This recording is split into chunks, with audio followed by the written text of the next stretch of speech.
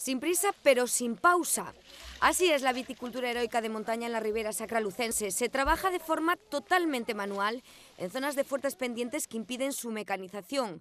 Un sacrificio que da como recompensa un vino mencía de los mejores de España. Na boca xa pois, notamos pois, que son viños pois, que teñen certa acidez, eh, moi ben equilibrada co seu aroma, que é o que realmente se busca nestes tipos de viños. Este es uno de los 13 tintos que se podrán catar en la Feria del Vino de Chantada, donde se trabaja estos días a destajo para tener todo listo y celebrar un año más su fiesta más tradicional. Dentro desta carpa, o que van ir é ubicadas estas cubas de madeira que vedes aquí, que son stands, onde en cada un deles vai ir ubicada unha das bodegas que van participar na Feira do Viño de Chantada. Ya lo saben, una oportunidad única para saborear estos preciados caldos en un entorno incomparable.